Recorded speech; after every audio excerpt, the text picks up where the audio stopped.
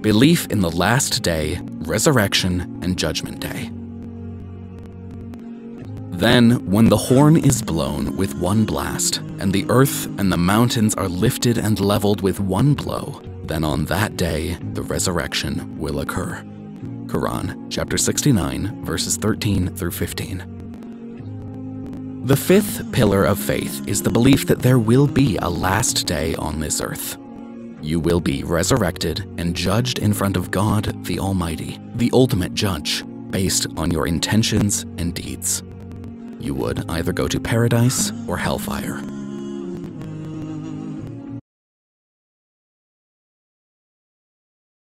Believe and practice after submitting to your Creator. Written by The Sincere Seeker from the Sincere Seeker Collection. Narrated by Austin Van Fleet. Copyright 2023 The Sincere Seeker. All rights reserved. May your journey to the answer and the truth be pleasant and successful. The Sincere Seeker's introductory book to Islam, The Sacred Path to Islam, and other Islamic books for adults and children are available on the Sincere Seeker's Amazon page at www.amazon.com forward slash The Sincere Seeker.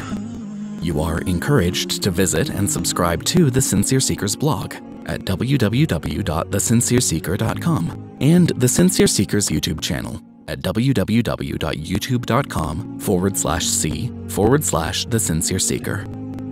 For questions or comments, please contact me at hello at thesincereseeker.com. Thank you for listening. At www.amazon.com forward slash The Sincere Seeker. You are encouraged to visit and subscribe to The Sincere Seeker's blog at www.thesincereseeker.com and The Sincere Seeker's YouTube channel at www.youtube.com forward slash C forward slash The Sincere Seeker. For questions or comments, please contact me at hello at thesincereseeker.com. Thank you for listening.